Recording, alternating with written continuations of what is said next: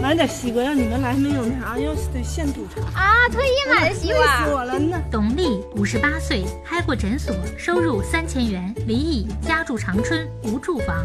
董大姐说啊，她这是刚给两位患者打完针回来，知道红娘今天要来，还没进门儿就特意去超市买了西瓜。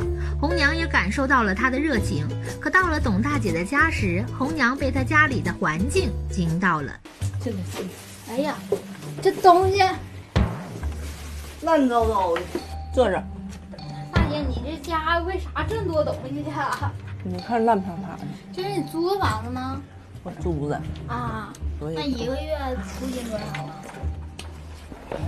一千一千多吧。你看米面都都堆这块儿了，然后什么调味品啥的，那你没有地方，那你一个屋你就得就得这么放。那咱咋不收拾收拾呢？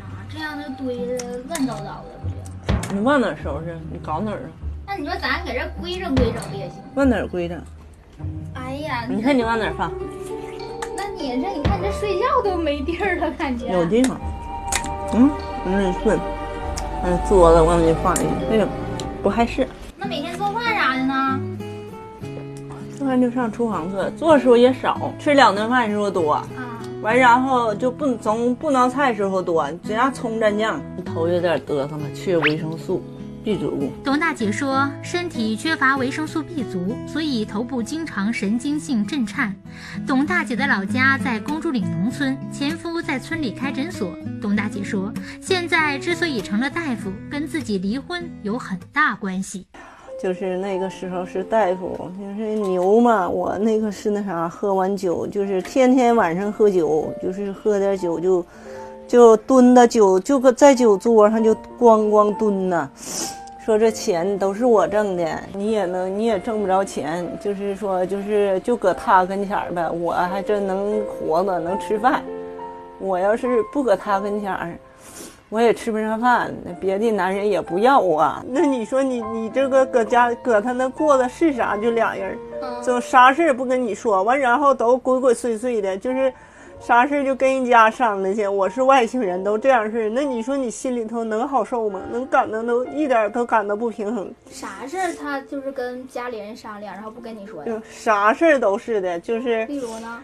就是送他那个妹妹去学那个学医的时候，就是意思说的不让我卖药，让他妹妹来帮卖药打吊瓶，钱让他妹妹把了，是这种。没有，我弟弟说那这不行啊，这这就像缺心眼子似的，就是你就你也去那啥去，就是进修去啊，进修完然后考有证，有个证的话，你到时候将来离婚那天你自己有碗饭吃啊。这么我进的修。离婚后，董大姐也考了全科医生证，她就回娘家给患者打针。后来儿子上大学，董大姐就来长春陪读。那时候儿子住校，董大姐就在附近租八个人的公寓住。为了供儿子上学，董大姐也是吃了不少的苦。来长春就打工，这么多年就打工呗，就打工，起早贪黑的干，半夜前十多点钟，呃，就是他们打电话，我也去那啥去，我也去得去给打针去。就是我每天进的钱我都记账，去了给孩子的，但是我别花冒了，为了孩子，然后自己也就是少花点儿，少穿点儿，少吃点儿。这不就这么多年省吃俭用的吗？你就说那前的肉，你说你那多贵，你能舍得买点肉吃啊？夏天我跟你说句良心话吧，都不怕你们笑话。哪说说的一夏天谁吃过西瓜呀？就是孩子回来搁学说妈那啥玩意儿，我就是周六了，说的我要上你那嘎去看看去，这买块西瓜娘俩吃了。啊，完孩子过生日，买点大虾给孩子送学校去了。自己都舍不得吃。好在儿子现在也工作了，董大姐也攒钱给儿子买了房子，儿子也打算明年结婚了，董大姐也得找个伴儿了。就主要是他能过日子，完然后有个房子，偶尔的喝点酒还行，抽烟打麻将啥这样式的，就是不考虑。就是说这个人品是主要的，别的都是次要的。董大姐说，她现在租房子住，想找个有住房的人好好过日子。不知道她和刘大哥能否看对眼呢？广告回来，咱接着看。接着一下子。哎，你好，你好，你好，我叫董丽。嗯，我叫刘景和。刘景。来，我。就瞅着个外表，还说就是还算可以。他说这么大岁数，那个头还行。对呀，感觉演员还行啊，挺好。个头，个头还用说的？是不是挺高的？初次见面，两个人对彼此的印象都还不错。可就在这时，刘大哥刚下班的女儿也刚好赶过来了。那是那是我姑娘。不是啊，你是自己紧张了，把姑娘叫来了。我是过来看看。知不知道我这个节目啊？这个节目我知道，但是我爸参加这个节目我不知道啊，没告诉姑娘。谁也不知道。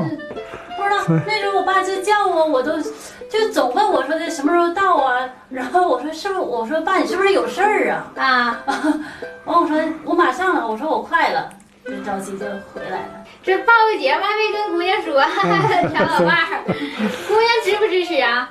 我支持啊，嗯，就是我一直都支持我爸这方面，因为之前吧，我都说我爸我自己。我爸自己也挺孤单的，嗯，因为我们嘛，毕竟陪他们的时陪他时间少，这个都没事，都不用说受什么拘束。就说孩子来了，是不是都挺好的？这不用说那啥玩意儿，是不是？因为有的父母就是那个，再婚的时候有的儿女啥的也不同意，也不支持，也不一样的。嗯嗯，挺温和的，呃，然后阿姨长得也还行，然后个子挺高的。对，呃，要是说跟我爸呢，我觉得挺配的。他们身高啊，呃，各方面跟我爸挺相配的。面对刘大哥女儿的到来，董大姐也表示理解。而刘大哥女儿这边呢，也对董大姐很是满意。刘大哥也问起了董大姐的情况。你家几个孩子？我家就一个孩子，姑娘啊。我家是儿子。是咋的？我没有，我没有社保。我有医保，咱都都是一样。大哥也有医保，医保都有，那就是都社区医保。社保吧，好像是男的到六十岁，好像就是不是就给给一我给一百零七。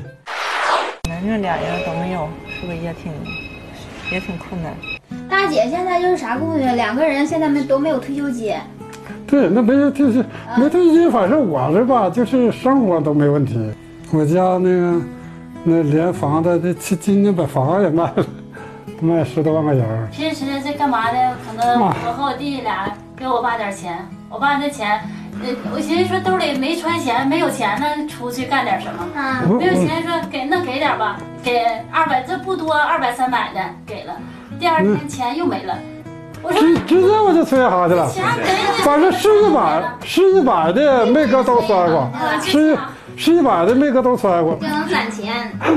那真是，那钱只能涨，不带往下掉。没有退休金，他不是说他的生活都不能成那啥吗？这个你不就是说，人家就说生活肯定没有问题。通过了解，董大姐对于两人今后的生活保障没啥顾虑了。董大姐也跟刘大哥说起了自己的工作。对我那证是，我正是医生证。我给我会给人看病，看完病我自己下药，完我不用雇护士，就是干那工作。但是呢，现在就上各家去打去。你们一听说他是大夫吧，我还更高兴了。啊，爸还感冒。我我太喜欢这个他这工作了。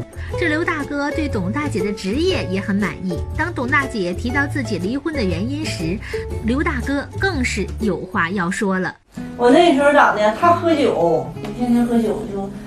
就说的这个钱呐，都是我挣的呢，就是意思你啥也不能干，你啥也不是，你要离开我你就不能活了，反正就是这些话就是常说，反正是心是难受，心寒的是不？就是可难受可难受的。像他说那个，说那个他那男的说都我家都我挣钱，你咋咋地不不挣钱了？我从来不提我挣不挣钱的事儿，那我那一年都累的，那些搁外边常年搁外边跑啊。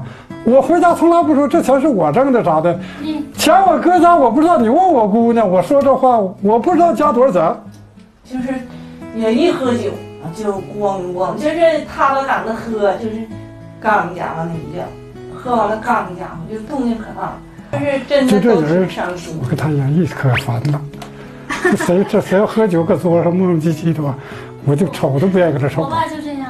因为我爸自己不抽烟喝酒，所以说的他也是就对那我确实这样的。这个人品啥都非常好，不抽烟不喝酒不玩麻将，这一点也挺可取的。刘大哥没有不良嗜好，正好对了董大姐的心思。如今还在租房子的董大姐，更是提到自己在意的住房问题。就是说我自己呢，因为我没有房子，我得想找一个有房子的，是不是？因为这么多年，我来的时候，我陪孩子读的时候，我就住一开始是公寓了呢，上下铺那种。我寻思我自己尽量这搬那搬的，我现在就算搬够了，就像说总家搬家搬家，自己要有个房子，你就不用搬家。你说，假设你你这嘎是租的，完然后人家到那嘎到期，我要卖房子了，我要啥玩意儿，你马上就得去那啥，就给人倒房子。我能理解他说没房住，那确实，你净租人家房根本就不行。大姐，大哥来长春这么多年，都买了两套房子了，给儿子买一套，给自己买一套。这说句实的，你就是，呃，别说你没房，就是你有房子，我也不能要要你房，我也不能上你那住去，你只能上我这来。那个房子你就不用惦记了。但是现在就是大哥现在跟那个儿子跟孙子住在一起，都住在这一块儿。对对对，因为我孙子吧上学就搁这跟前儿。那那人现在人住就先住着呗，住也没说马上和他要结婚呢。你住到住到啥前儿，那人家就是咋打算的？那他到时候他不得跟我说吗？